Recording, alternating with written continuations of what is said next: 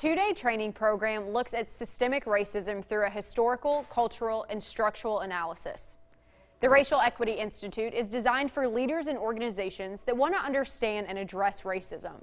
The workshop uses characteristics of modern-day racial inequity to help participants understand a root cause.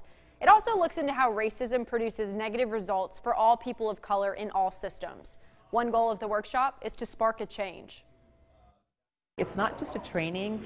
I, we feel like it's a movement, and it's a movement. We're creating a movement of people in the community who have the the skills and the foundation to look at our whole community at, from a racial equity perspective.